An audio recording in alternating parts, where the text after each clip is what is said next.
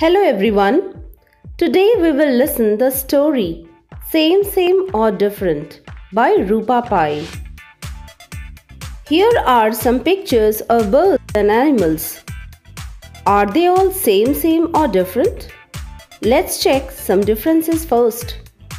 Food Elephant is herbivorous. Parrot is omnivorous. Dog is omnivorous. Fly. Elephant cannot fly.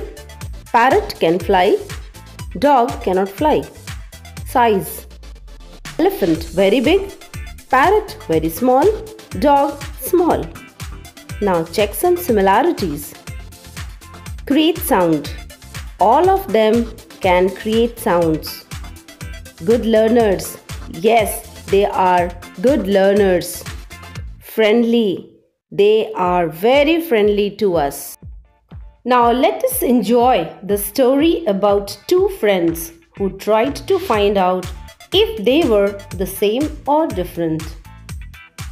Characters of the story Sparrow, Sparrow's mama, Snake, Snake's papa.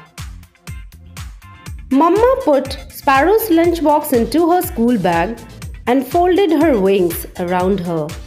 She also told her to stay away from Snake because he was different.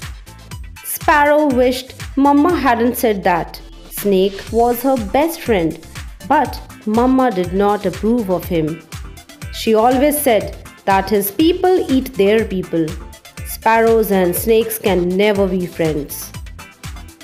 On the other side of town, Snake's papa was packing his lunchbox with birds' eggs. Snake groaned that he hated eggs and he felt angry. Papa said sternly that sparrows are different. They have always eaten them in their family. He cannot be friends with his food. And Papa added that he should remember to stay away from Sparrow. When Snake met Sparrow at school, they both figured out from each other's expressions that something was odd. Snake and Sparrow wanted to prove that their parents were wrong by showing them that they were more same same than different. Sparrow pulled out a sheet of paper and drew two circles on it. In yellow part, they wrote sparrow things. In blue part, they wrote snake things. Those would be the ways in which they were different. Sparrow smiled and said that green part in the middle was for their similar things. First, they wrote about their physical appearance. Then, they wrote about their movement. At last, they wrote about what they eat. Suddenly, Headmaster Elephant asked them to go and watch the play. The play was about a white bellbird and giraffe who were stuck on an island together. The two had not met each other before but became friends. After spending many days together happily in each other's company, both of them were rescued. Despite being different, remained friends even after reaching their homes.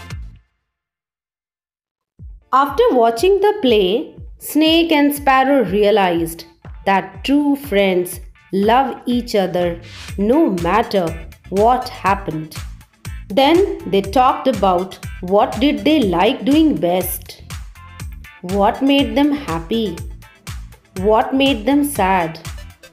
Who did they think is the best kind of friend? After getting answers, Sparrow drew something in the green part. Finally, that made four same things and three different things. The same same part won. In this way, Sparrow and Snake proved that they were more same same than different. Thank you for listening.